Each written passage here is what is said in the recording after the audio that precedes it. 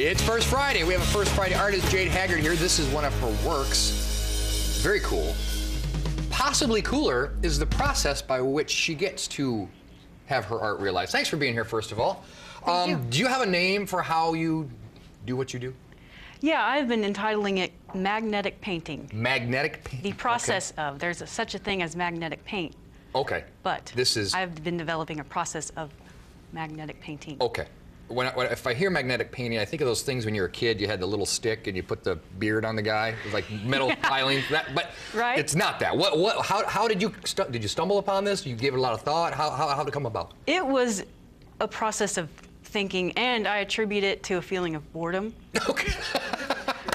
I'm just trying to figure out new ways to interact with paint Okay. that no one's ever thought of yet. Well, I, I think I think you got it. So, is there? Uh, tell, tell me how the process works. Let's see your process. Well, it's very simple, Okay. and I will begin.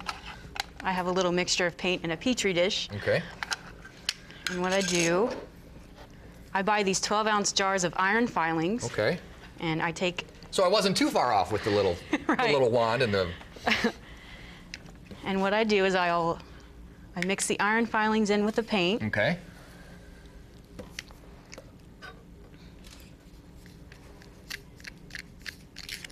Doesn't affect the color. nope, Gives it some texture too.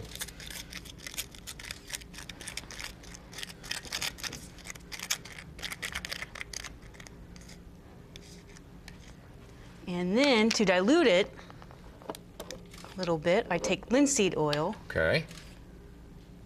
mix it in.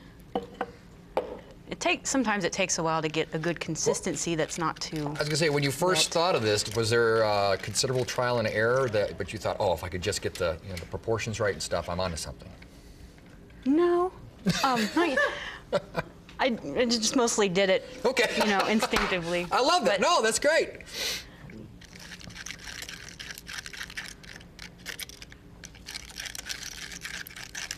Okay. All And I really just kind of eyeball it. Sure. Like right now, I need a little bit more iron. While you're working up the, the kinks on your uh, recipe, you remind people that you do ha- you do have an exhibit right now at, at the Yes, Bank, sir. right? Yes, Awesome. sir. Sir. And I'm. I I, respect I, you. pre- I appreciate your manners, but it just makes me feel old. and I will be doing demonstrations, like Demonstrations as this well? this evening. Because, like I said, I think the process is just as curious. Okay. Now We, okay.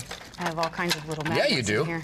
I don't see many brushes. See, It's a messy you have to keep towels around. Well, I, I have children, so I, I keep towels around anyway. Okay. Now I'm going to take the strongest magnet that I have thus far. Mm-hmm. I'm going to put it on the back. Oh, actually, do you Want want to hold that Yeah. for me? I want to be of some use to that. Okay. It's been a, okay. My hands are all dirty. That's all right. Whoa!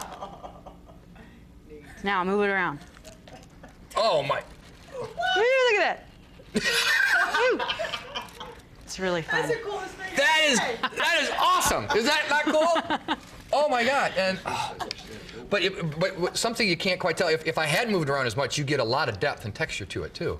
Mm-hmm. That's kind of looks like Squidward. A green Squidward sort of thing. This is really cool. This is awesome. We're going to keep painting. Remind people again that, uh, at artbankgallery.com, correct? Do Yes. you have your own website as well? Yes. What is that? www.twocansonastring.net. Toucans, like T W O cans, not Yes. like the exotic, exotic bird, right? Two cans on a string. Right. Okay, we're gonna put that link on Indy Style. I'm gonna keep on painting. This is the coolest thing ever. When we come back, we're talking more about the, the Indianapolis Chinese Festival. That is just